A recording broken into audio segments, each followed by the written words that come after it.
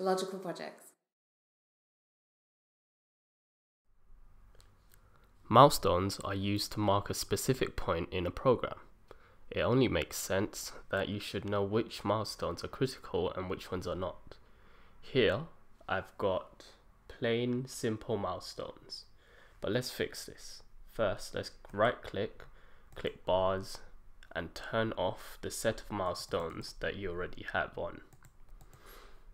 Then we need to create two new ones, a critical milestone and a non-critical milestone. I've already created this, but let's see how we can do them.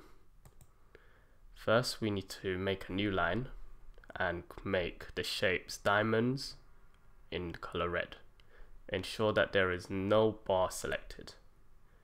Then we create a new filter. This filter needs to have the criteria of critical equals yes, where any of the following of the activity type equaling to a start milestone and a finish milestone. You can click OK and apply this filter to your critical milestones.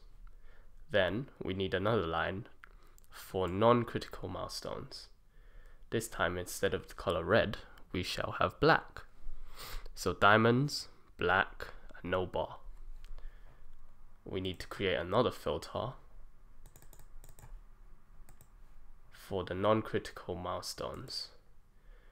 This time the only difference is that critical equals no and once again activity type equals a finish and a start. Click OK, apply this filter, ensure that they are set to display and you will have critical milestones shown in red and non-critical milestones shown in black. Thank you for watching and I hope this helped.